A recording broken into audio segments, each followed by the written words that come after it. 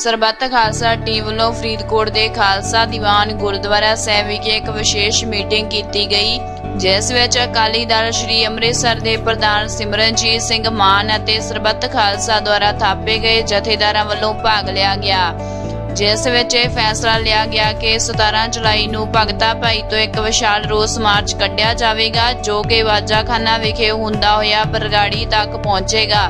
ਇਸ ਸਮੇਂ ਸਰਬੱਤ ਖਾਲਸਾ ਟੀਮ ਵੱਲੋਂ ਇਸ ਗੱਲ ਤੇ ਦੁੱਖ ਪ੍ਰਗਟ ਕੀਤਾ ਗਿਆ ਕਿ ਬਰਗਾੜੀ ਵਿਖੇ ਸ੍ਰੀ ਗੁਰੂ ਗ੍ਰੰਥ ਸਾਹਿਬ ਜੀ ਦੀ ਬੇਅਦਬੀ ਮਾਮਲਾ 1 ਸਾਲ ਦੇ ਕਰੀਬ ਹੋ ਗਿਆ, ਪਰੰਤੂ ਪੁਲਿਸ ਹਾਲੇ ਤੱਕ ਸਹੀ ਦੋਸ਼ੀਆਂ ਤੱਕ ਨਹੀਂ ਪਹੁੰਚ ਸਕੀ ਤੇ ਨਾ ਹੀ ਪੁਲਿਸ ਦੀ ਗੋਲੀ ਨਾਲ ਸ਼ਹੀਦ ਹੋਏ ਦੋ ਸਿੰਘਾਂ ਤੇ ਨੇਕਾਂ ਜ਼ਖਮੀਆਂ ਦੇ ਦੋਸ਼ੀਆਂ ਨੂੰ ਨਾਮਜ਼ਦ ਕਰ ਸਕੀ, ਜਿਸ ਦੇ ਰੋਸ ਵਜੋਂ ਇਹ ਮਾਰਚ ਕੱਢਿਆ ਜਾ ਰਿਹਾ ਹੈ ਇਸ ਵੇਲੇ ਭਾਈ ਧਿਆਨ ਸਿੰਘ ਮੰਡ ਨੇ ਦੱਸਿਆ ਕਿ ਜੋ ਬਰਗਾੜੀ ਵਿਖੇ ਸ੍ਰੀ ਗੁਰੂ ਗ੍ਰੰਥ ਸਾਹਿਬ ਦੇ ਅੰਗ ਪਾੜ ਕੇ ਬੇਅਦਬੀ ਕੀਤੀ ਗਈ, ਉਸ ਦਾ ਸਿੱਖ ਜਥੇਬੰਦੀਆਂ ਵਿੱਚ ਕਾਫੀ ਰੋਸ ਹੈ ਅਤੇ ਪੁਲਿਸ ਹਾਲੇ ਤੱਕ ਅਸਲ ਦੋਸ਼ੀਆਂ ਨੂੰ ਨਹੀਂ ਪਕੜ ਸਕੀ, ਜਿਸ ਦੇ ਰੋਸ ਵਜੋਂ ਇਹ ਮਾਰਚ ਕੱਢਿਆ ਜਾ ਰਿਹਾ ਹੈ ਫਰੀਦਕੋਟ ਤੋਂ ਸੂਰਜ ਪ੍ਰਕਾਸ਼ ਦੀ ਰਿਪੋਰਟ, ਜਗਤ ਸੇਵਕ ਵੈਬ ਟੀਵੀ। ਪਰ ਬਰਗਾੜੀ ਨਹੀਂ ਬਹੁਤ ਥਾਵਾਂ ਤੇ ਗੁਰੂ ਗ੍ਰੰਥ ਸਾਹਿਬ ਦੀ ਬੇਅਦਬੀ ਹੋਈ। ਭਾਈ ਭਗਤੇ ਬੜੀ ਮੰਦੀ ਸ਼ਬਦਾਵਲੀ ਪੋਥੀਆਂ ਦੇ ਉੱਤੇ ਲਿਖ ਕੇ ਉਹ ਗਲੀਆਂ ਦੇ ਵਿੱਚ ਇੱਕ ਵਾਰ ਨਹੀਂ, ਤਿੰਨ ਵਾਰ ਲਗਾਤਾਰ ਖਿਲਾਰੇ ਗਏ। ਔਰ ਅਸੀਂ ਪੁੱਛਣਾ ਚਾਹੁੰਦੇ ਆ ਕਿ ਸਰਕਾਰ ਕਿੱਥੇ ਹੈ? ਜਾਂ ਸਰਕਾਰ ਕਿਹੜੀ ਚੀਜ਼ ਦਾ ਨਾਂ ਹੈ? ਸਰਕਾਰ ਦਾ ਕੰਮ ਕੀ ਹੈ? ਸਾਨੂੰ ਬੜਾ ਦੁੱਖ ਹੈ ਕਿ ਕੁਰਾਨ ਸ਼ਰੀਫ ਦੀ ਬੇਅਦਬੀ ਹੋਈ।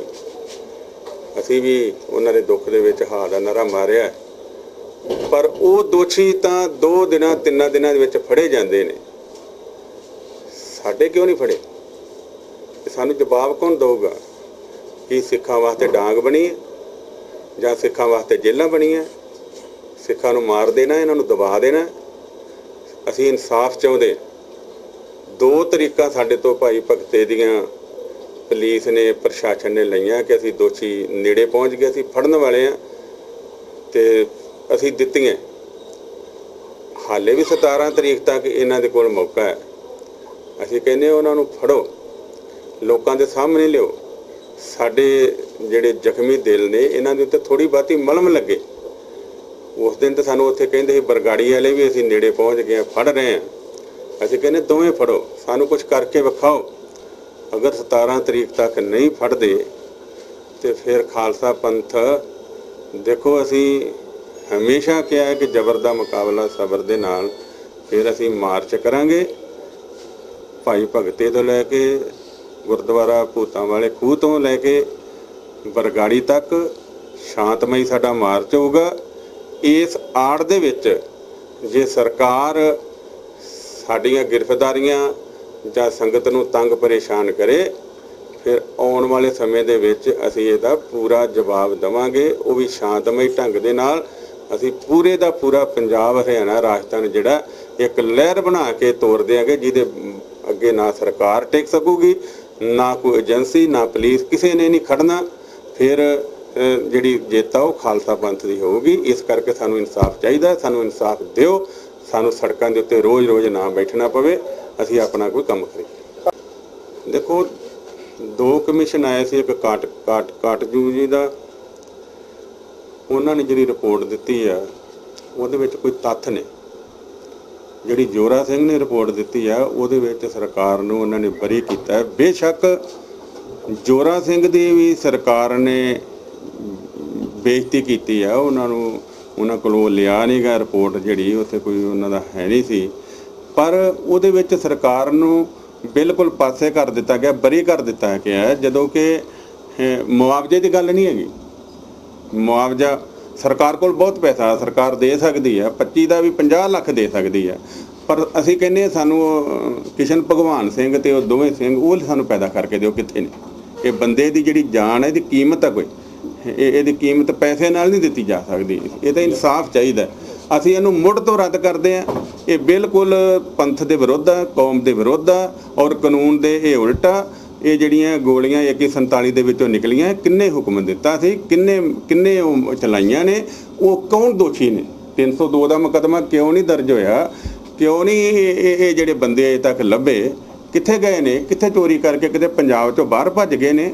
ਕਿੱਥੇ ਗਈਆਂ ਏਜੰਸੀਆਂ? ਕਿੱਥੇ ਗਈ ਇੰਟੈਲੀਜੈਂਸੀ ਸਾਨੂੰ ਤਾਂ ਇਨਸਾਫ ਚਾਹੀਦਾ।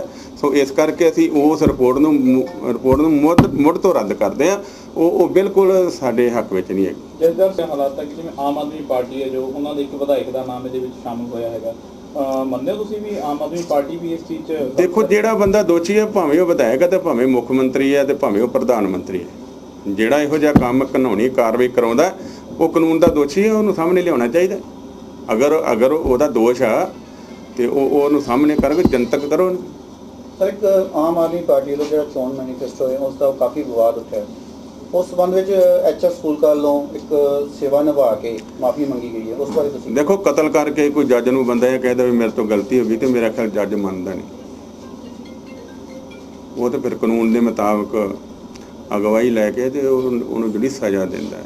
ਇਹ ਇਹ ਮਾਫੀਯੋਗ ਜ ਗੱਲਾਂ ਨਹੀਂ ਹੈਗੀ ਕਿ ਸਾਨੂੰ ਕਤਲਾਂ ਦੇ ਗੁਨਾਹਗਾਰ ਜਿਹੜੇ ਉਹਨਾਂ ਨੂੰ ਸਜ਼ਾਵਾਂ ਚਾਹੀਦੀਆਂ ਤੇ ਪੂਰੀ ਕੌਮ ਕਹਿੰਦੀ ਆ ਔਰ ਅਸੀਂ ਵੀ ਇਹੀ ਕਹਿੰਦੇ ਕਿ ਜਿਹੜੇ ਕਾਤਲ ਨੇ ਉਹਨਾਂ ਨੂੰ ਸਜ਼ਾਵਾਂ ਮਿਲਣੀਆਂ ਚਾਹੀਦੀਆਂ, ਉਹਦੇ ਲਈ ਚਾਹੇ ਸਰਕਾਰ ਦੋਸ਼ੀ ਆ ਜਾਂ ਕੋਈ ਅਫਸਰ ਦੋਸ਼ੀ ਆ, ਪੁਲਿਸ ਦੋਸ਼ੀ ਆ, ਕੋਈ ਵੀ ਦੋਸ਼ੀ ਆ, ਤੇ ਇਹ ਜਿਹੜਾ ਮੁਆਵਜ਼ਾ, ਇਹ ਤਾਂ ਇੱਕ ਹਮਦਰਦੀ ਤੌਰ ਤੇ ਦੇਣਾ ਚਾਹੀਦਾ ਤੇ ਇਹ ਕੋਈ 10 20 ਲੱਖ ਨਹੀਂ ਸਗੋਂ ਇਹ ਤਾਂ ਕਰੋੜਾਂ ਦੇ ਵਿੱਚ ਦੇਣਾ ਚਾਹੀਦਾ ਜਿਨ੍ਹਾਂ ਪਰਿਵਾਰਾਂ ਦੇ ਜੀ ਚਲੇ ਜਾਂਦੇ, ਜੋ ਉਹਨਾਂ ਨੂੰ ਘਾਟਾ ਪੈਂਦਾ, ਇਹ ਤਾਂ ਉਹੀ ਪਰਿਵਾਰ ਜਾਣਦੇ ਆ। ਜੇਕਰ ਸ਼ਰਾਬ ਪੀ ਕੇ ਸਰਹੱਦ ਟੱਪੀ ਸਰਬਜੀਤ ਸਿੰਘ ਪਾਕਿਸਤਾਨ 'ਚ ਮਾਰਿਆ ਜਾਂਦਾ, ਸਾਨੂੰ ਹਮਦਰਦੀ ਆ, ਉਹਦੀ ਇਨਸਾਨੀਅਤ ਨਾਤੇ ਉਸ ਦੇ ਨਾਲ। ਪਰ ਉਹਦਾ ਪਰਿਵਾਰ ਕਹਿੰਦਾ ਕਿ ਉਹ ਸ਼ਰਾਬ ਪੀ ਕੇ ਟੱਪਿਆ ਤੇ ਉਹ ਵਾਪਸ ਜੇਕਰ ਉਹਦੀ ਲਾਸ਼ ਆਉਂਦੀ ਹੈ ਤੇ ਬਾਦਲ ਉਸ ਨੂੰ ਕੌਮੀ ਸ਼ਹੀਦ ਕਹਿੰਦਾ ਤੇ 1 ਕਰੋੜ ਦਾ ਮੁਆਵਜ਼ਾ ਤੇ ਪਰਿਵਾਰ ਨੂੰ ਨੌਕਰੀਆਂ ਦਿੰਦਾ ਹੈ। ਕਿ ਜਿਹੜੇ ਗੁਰੂ ਗ੍ਰੰਥ ਸਾਹਿਬ ਦੇ ਪਿੱਛੇ ਸ਼ਹੀਦ ਹੋਏ ਆ, ਉਹ ਸਰਕਾਰ ਦੀ ਨਿਗਾਹ 'ਚ ਸਰਬਜੀਤ ਨਾਲੋਂ ਵੀ ਮਾੜੇ ਆ? ਔਰ ਦੂਸਰਾ, ਜਿਹੜਾ ਹੈ, ਉਹਨੂੰ ਹੁਣ ਭਾਰਤ ਦੀ ਸਰਕਾਰ ਕਹਿ ਰਹੀ ਹੈ ਕਿ ਉਹ ਏਜੰਸੀ ਕਹਿ ਰਹੀ ਕਿ ਉਹ ਛੋਟਾ-ਮੋਟਾ ਸਮਗਲਰ ਸੀਗਾ। ਉਹਨੂੰ ਇਹ ਕੌਮੀ ਸ਼ਹੀਦ ਦਾ ਖਿਤਾਬ ਦੇ ਰਿਹਾ ਉਹਨੂੰ ਕਰੋੜਾਂ ਦਾ ਮੁਆਵਜ਼ਾ ਦੇ ਰਿਹਾ ਪਰਿਵਾਰ ਨੂੰ ਨੌਕਰੀਆਂ ਦੇ ਰਹੇ ਆ ਤੇ ਜਿਹੜੇ ਗੁਰੂ ਗ੍ਰੰਥ ਸਾਹਿਬ ਸੱਚੇ ਪਾਤਸ਼ਾਹ ਪਿੱਛੇ ਰੋਸ ਵਜੋਂ ਔਰ ਅਮਨ ਸ਼ਾਂਤੀ ਨਾਲ ਬੈਠੇ ਸ਼ਹੀਦ ਹੋਏ, ਕਿ ਇਹ ਸਰਬਜੀਤ ਦੇ ਨਾਲੋਂ ਮਾੜੇ ਸੀਗੇ? ਤੇ ਉਹਦਾ ਉਸ, ਉਹਨਾਂ, ਉਸ ਦੇ ਨਾਲੋਂ ਵੀ ਗਏ ਗੁਜ਼ਰੇ ਸੀ, ਜਿਸ ਕਾਰਨ ਕਰਕੇ ਸਰਕਾਰ ਉਹਨਾਂ ਦਾ ਮੁਆਵਜ਼ਾ 10 ਜਾਂ 20 ਲੱਖ ਕਹਿ ਰਹੀ ਹੈ। ਮੁਆਵਜ਼ਾ ਜ਼ਰੂਰ ਪਰਿਵਾਰਾਂ ਨੂੰ ਮਿਲਣਾ ਚਾਹੀਦਾ, ਪਰ ਉਹ ਕਰੋੜਾਂ 'ਚ ਮਿਲਣਾ ਚਾਹੀਦਾ, ਪਰ ਇਨਸਾਫ ਕੇਵਲ ਮੁਆਵਜ਼ੇ ਨਾਲ ਨਹੀਂ, ਇਹ ਤਾਂ ਹਮਦਰਦੀ ਆ।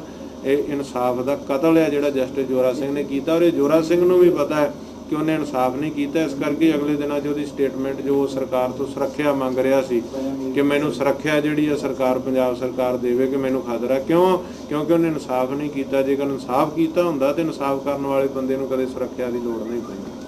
ਪਰ ਜਿਹੜਾ 17 ਤਰੀਕ ਨੂੰ ਰੋਸ ਮਾਰਚ ਕੱਢਿਆ ਜਾ ਰਿਹਾ ਵਿੱਚ ਕਿਹੜੇ ਕਿਹੜੀਆਂ ਜਥੇਬੰਦੀਆਂ ਭਾਗ ਲੈ ਦੇਖੋ, ਸਮੁੱਚੀਆਂ ਸਿੱਖ ਜਥੇਬੰਦੀਆਂ, ਸਮੁੱਚੀ ਕੌਮ ਨੂੰ ਅਸੀਂ ਸੱਦਾ ਦਿੱਤਾ ਇਹ ਕਿਸੇ ਪਾਰਟੀ ਦਾ ਨਹੀਂ ਹੈ, ਸਮੁੱਚੇ ਸਿੱਖਾਂ ਦਾ ਸਤਿਕਾਰਯੋਗ ਸਿੰਘ ਸਾਹਿਬਾਨਾਂ ਨੇ ਸੱਦਾ ਦਿੱਤਾ ਗੁਰਬਾਣੀ ਦੀ ਬੇਅਦਬੀ ਦੇ ਰੋਸ ਵਜੋਂ।